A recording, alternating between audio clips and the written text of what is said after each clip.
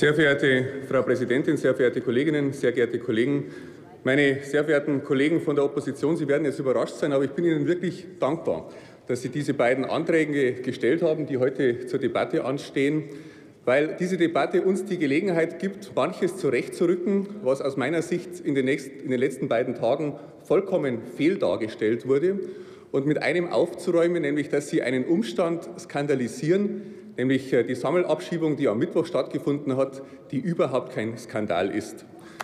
Meine sehr verehrten Kolleginnen und Kollegen, der eigentliche Skandal liegt in anderen Dingen. Schauen Sie sich gerade hier in Berlin um. Schauen Sie sich den neuen Koalitionsvertrag der rot-rot-grünen Landesregierung äh, an. Hier setzt sich die Landesregierung ganz klar dafür ein, Abschiebegewahrsam, Abschiebehaft auf Bundesebene abzuschieben, obwohl es äh, in der Regel täglich vorkommt, dass abzuschiebende Personen sich verflüchtigen und am Tag der Abschiebung nicht äh, aufzufinden sind. Sie haben nach wie vor in Berlin über 3000 Flüchtlinge in Schul äh, Turnhallen untergebracht. Damit ist es äh, Kindern und Jugendlichen nach wie vor nicht möglich, dem Sportunterricht nachzugehen. Hier wäre Handlungsbedarf gegeben. Das ist der eigentliche Skandal, meine sehr verehrten Kolleginnen und Kollegen. Abschiebungen sind ein wesentlicher Bestandteil, Bestandteil einer konsequenten Durchführung des Asyl- und Flüchtlingsrechts. Die Rechtsfolge kann doch nicht die gleiche sein, Frau Kollegin Kühners. Das kann doch gerade Sie als Vorsitzende des Rechtsausschusses müssen doch ein Interesse daran haben, dass es äh, eine unterschiedliche Behandlung der Personen gibt, die ausreisepflichtig sind, gegenüber den Personen, die ein Bleiberecht haben. Es kann doch nicht sein, dass Personengruppen gleich behandelt werden in der Rechtsfolge, unabhängig davon, ob sie anerkannt werden als Flüchtlinge oder eben nicht.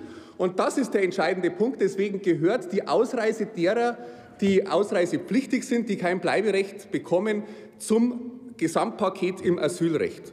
Und ich möchte auch einem deutlich entgegentreten, weil gerade auch von Seiten der Opposition in den letzten beiden Tagen immer wieder der Vorwurf insinuiert wurde, Deutschland wäre herzlos, Deutschland wäre inhuman, wenn diese Sammelabstimmung stattfindet.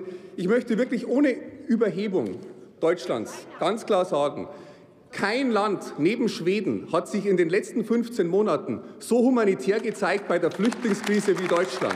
Deswegen ist dieser Vorwurf vollkommen verfehlt.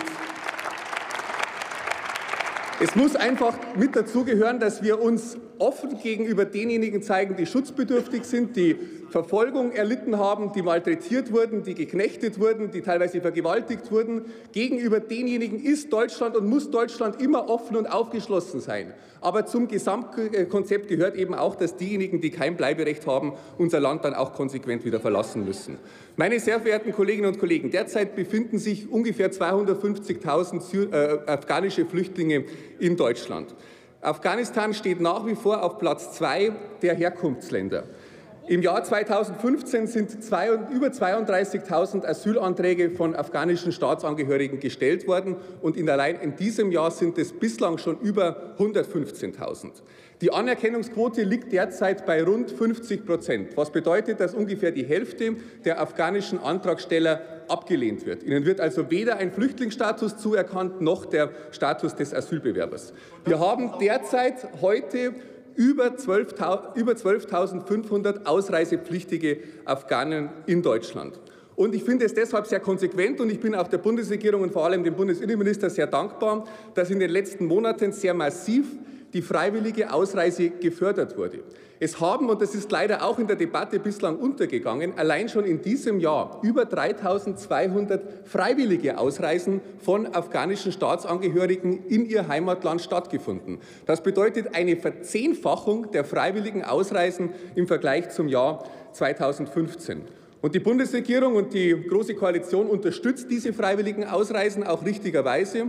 Wir haben allein im Bundeshaushalt 2017 90 Millionen zusätzlich zur Verfügung gestellt für die Förderung der freiwilligen Ausreise und vor allem auch für die Förderung von Reintegration. Darum geht es doch ganz entscheidend, dass man den Heimreisenden auch die Integration ins Heimatland erleichtert. Dafür stellen wir auch entsprechend Mittel zur Verfügung. Es wird natürlich nicht nur bei der freiwilligen Ausreise die Heimreise bezahlt. Es werden 500 Euro pro Person zur Verfügung gestellt für Reintegration im Heimatland. Es werden Reisebeihilfen für die äh, Preise innerhalb des Heimatlandes mit gewährt. Ich glaube, Deutschland zeigt sich hier wirklich sehr human und auch sehr unterstützend.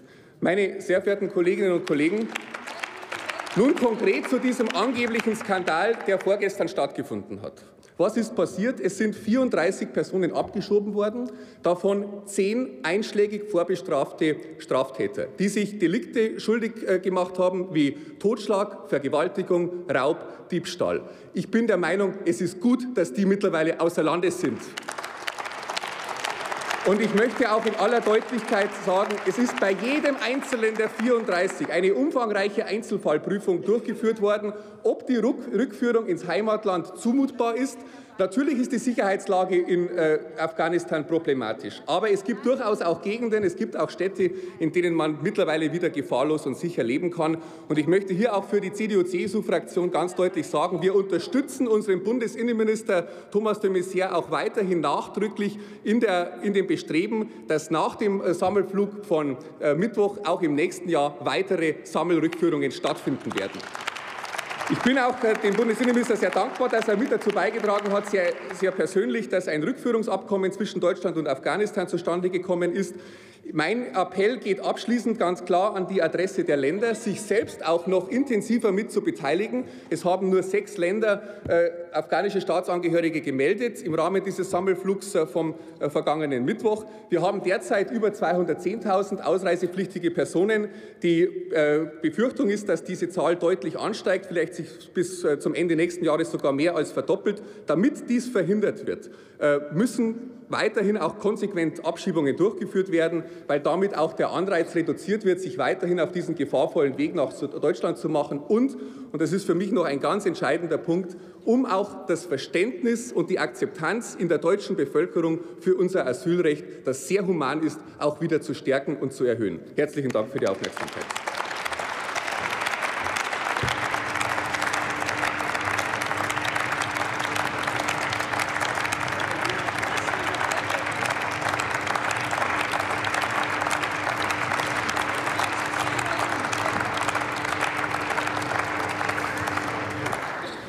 Das Wort hat die Kollegin Ulla Jelpke für die Fraktion Die Linke.